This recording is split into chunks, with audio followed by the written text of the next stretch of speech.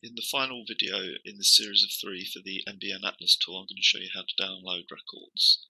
So I'm going to engage the Filters tab here and search on the string Bombus.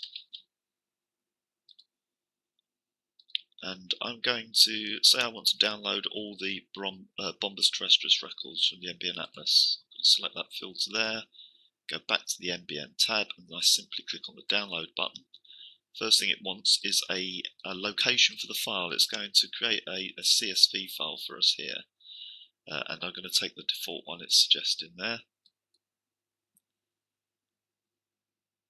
And you can see it's popped over to the Downloads tab now and it's showing me the name of the file that it's downloading.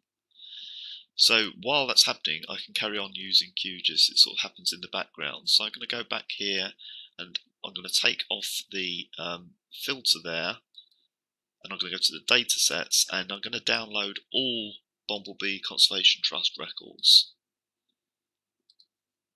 Download again.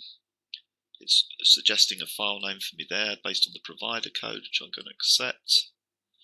And now we've popped over to the Downloads tab here and you can see that this one is in progress.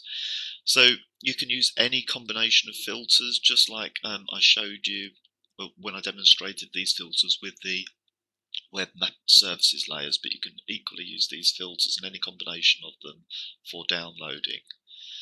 Um, I'm not going to go run through those again uh, with you now, um, so you get you get the idea of how to download the records. The last thing I'll show you in this very quick demo is uh, what you can do with those data. So when this little one from the provider comes in, which it should do any minute, it will change the symbol here with a green tick to show that it's down. We're going to open that because it's just a CSV. We're going to open it with the biological recording tool.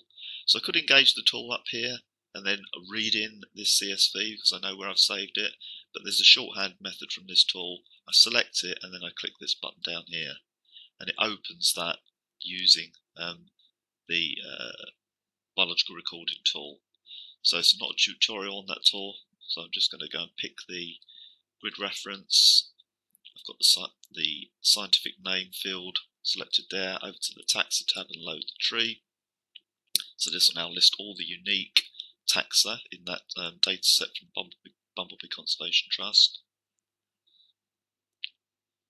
And I can expand them. So if I want to create a map for Bombus lucorum, for example, click that, click that.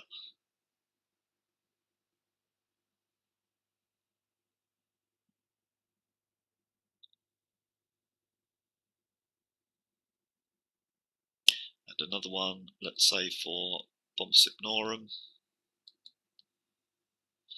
So this is working with the raw um, records from the NBN gateway now, and I'm creating sort of on the fly here actual uh, shape files from those, those, raw data. And here I'm just um, plotting the points, but of course I can use this tool to create um, grid maps if that's what I wanted to do. Okay, it's as simple as that. Knock yourself out.